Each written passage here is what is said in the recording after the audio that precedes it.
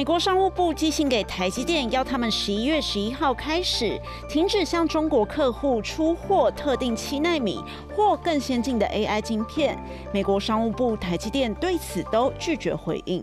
There is a concern that some of these really advanced chips are getting in the hands of Chinese fabric, uh, fab and semiconductor companies, which is against uh, some of the rules and let's say uh, restrictions that we have on these chips, which can directly impact Taiwan Semi. 美国直接写信给台积电，就是为了绕过冗长的规则，制定流程，迅速要求特定公司实施新规定，就是把矛头对准中国的 AI 发展。美国从二零一九年开始对 中国半导体业实施制裁，击垮缺乏核心技术的中小型晶片公司。今年咱们就芯片注销的公司已经达到了一点零九万家，这个数字比过去的几年都要多得多。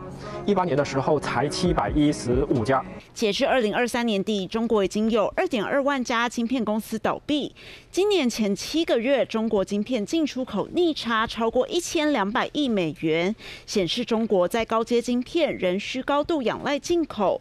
此外，美国众议院更发函艾斯摩尔、东京威力科创以及美商印材等五家半导体公司，要求提供中国客户清单。We worry about is is that all of these companies are subject to the potential headline risk and and what comes from potential restrictions that, that come out of Washington, whether it's it's limiting uh, semiconductor exports or, or, sales to to certain countries. 美国频频出手，意图打断中国发展 AI 产业。这场牵动全球半导体公司的美中晶片战越演越烈。三立新闻张庭祥、叶丽婷综合报道。